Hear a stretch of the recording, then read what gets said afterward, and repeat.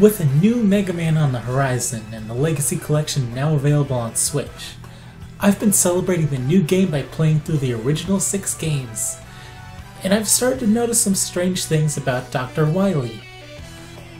From playing Mega Man X, we know Dr. Light and Dr. Wily both digitized their souls, with Wily even creating various Reploid battle bodies.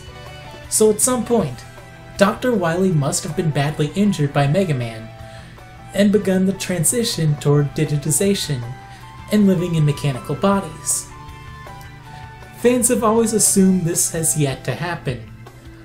But in Mega Man 4, Wily displays a bizarre blink and you miss it ability.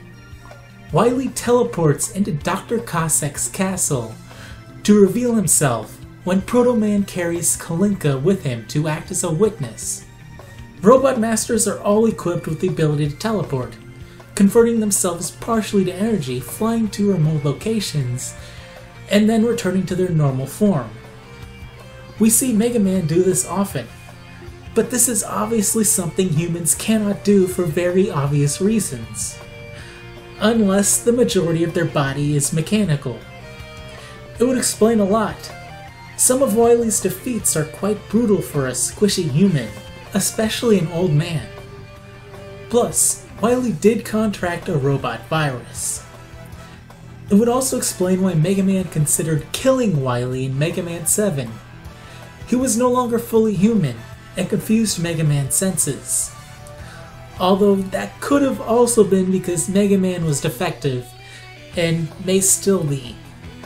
During Mega Man 3, Mega Man's software was crashing occasionally between stages, and Mega Man did something very unusual in his final battle with Dr. Wily. He targeted Wily himself, risking serious injury. Asimov's laws of robotics are extremely important in the Mega Man lore, so Mega Man should not have knowingly targeted the cockpit Wily was sitting in.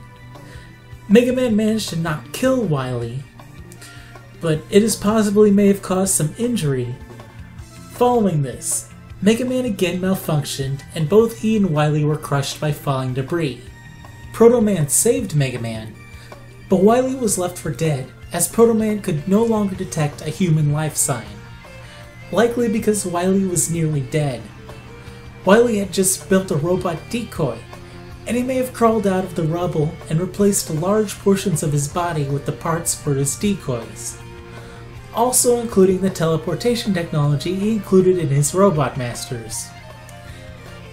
As time passes, and he is defeated over and over again, eventually his entire body becomes robotic, and one day he finally preserves his soul as a computer virus.